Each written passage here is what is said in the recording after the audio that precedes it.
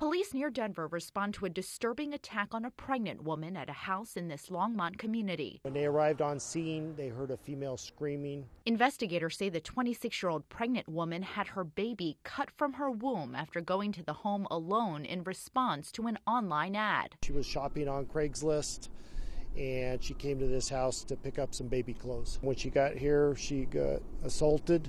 She was assaulted and stabbed, and her baby was removed. The woman underwent surgery at a local hospital and is expected to recover.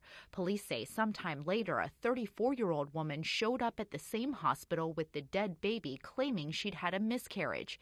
Investigators say they made the connection and took the suspect into custody.